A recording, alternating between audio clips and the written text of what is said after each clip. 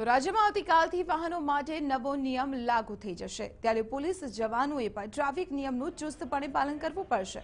સુરતમાં in charge police કમિશનરે પરિપત્ર જાહેર કર્યો. પરિપત્ર પ્રમાણે પોલીસ ટ્રાફિક નિયમનો ભંગ કરશે તો દંડ ઉપરાંત પણ બીજી સજા અને દંડ કરવામાં આવશે અને ટ્રાફિક દંડ સિવાય એક રૂપિયા અને બીજો દંડ એક વર્ષનો પગાર વધારો અટકાવવામાં આવશે.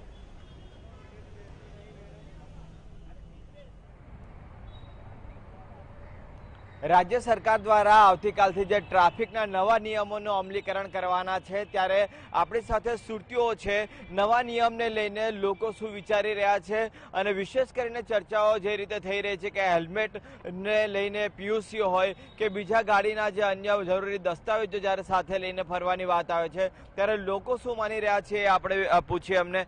જે રીતે આવતીકાલથી સખ્તાઈપૂર્વકથી આ જે નિયમ છે તે લાગુ કરવામાં આવશે નિયમને લઈને તમારું શું માનવું છે हमारा तो ये कहना है जो राज्य सरकार ने जो नियम पाड़ा है जैसे कि आप हेलमेट है ये तो जनता के लिए बहुत अच्छा चीज़ है कि भाई ठीक है जनता पहनेगी तो उसको सुरक्षा मिलेगी और अ, जो भी है कि अपने आप समझो कि ये जनता के लिए हित के लिए है ये चीज़ तो ये भी सरकार ध्यान में रखे कि हित के लिए है तो जनता को परेशान न किया जाए ठीक है भाई वो सब जरूरी है जनता के फाय- फायदे के लिए है कोई परेशानी नहीं होगी तो, तो તમે શું વિચારો છો આને લઈને ચોક્કસ નિયમ લાગુ થઈ રહ્યો છે તો લોકોએ અપનાવવો જ રહ્યો અને લોકોને એ જ અપેક આપણે કહીએ છીએ કે તમે દંડ ના ભરવો હોય તો જે સરકારે કીધેલી છે એ વસ્તુ સાથે લઈને ચાલો તો આપણા માટે જ સારું છે જીવ બચાવવા માટે જ સરકાર છે અને થવું જોઈએ અ, તમે આ મેમો લઈને ઉભા છો તો મેમો તમને ક્યારે ફાળવામાં આવ્યો છે અને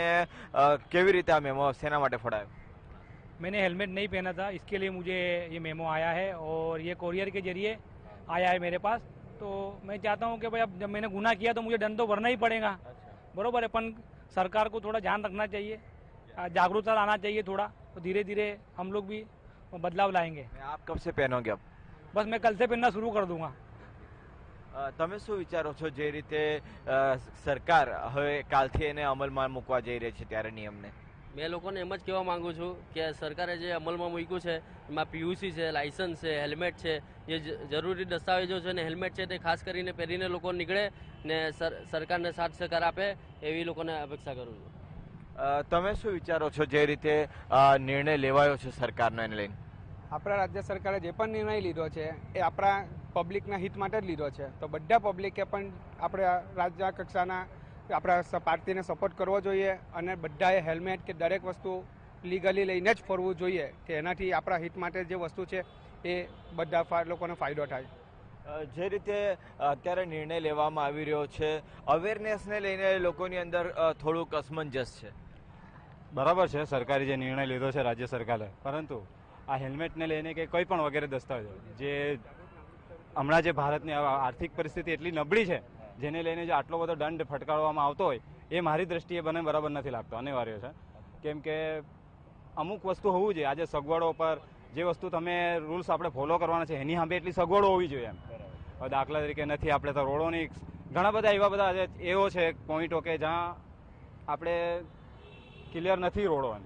તમે શું માનો છો? આપણે ખાસ કરીને યંગસ્ટરને હવે સૌથી વધારે હરવા ફરવાનો હોય છે સ્પીડમાં ઓવર સ્પીડમાં ગાડી ચલાવતો હોય છે. હવે એમને પણ મોટી પેનલ્ટી ભરવાની છે.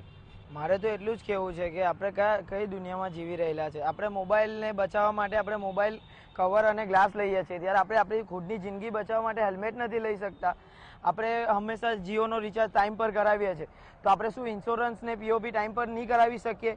અને બીજી વાત આપણે કે મોબાઈલ આપણે મોબાઈલમાં જી મોબાઈલમાં કે જીઓનું બીજું રિચાર્જ આપણે ટાઈમ ટુ ટાઈમ કરાવે તો આપણે પાંચ મિનિટ આપણે ખાલી ટ્રાફિક રૂલ્સ પર ફોલો નથી કરી શકતા. એટલું જ મારે કેવું છે કે પછી કહે છે કે સરકારે મેમો બનાવી દીધા છે ચાર્જ વધારી દીધા છે. એનો કોઈ મતલબ નથી. સુધરવું આપણે પડશે મેં તો તો લોકોની અંદર હવે જે અવેરનેસ છે તે ધીરે ધીરે આવી રહી છે અને આવતીકાલથી જ્યારે આ નવો ટ્રાફિક નિયમ જે છે તે અમલી થવાનો છે, ત્યારે ઘણા બધા લોકોને તેના દંડની રકમને લઈને પણ રોષ છે. તો કેટલાકને જે લોકોને મળતી સુવિધાઓ છે તેને લઈને પણ રોષ છે. પણ સાથે સાથે લોકો આને પોતાના સુરક્ષા માટેનું એક કવચ સમાન માની રહ્યા છે. એટલે બંને પ્રકારની જે પ્રતિક્રિયાઓ છે તે અત્યારે સામે આવી રહી છે. કેમેરામેન સંજય ચંદેલ સાથે દેવેન ચિત્તે, ટીવી નાઇન સુરત.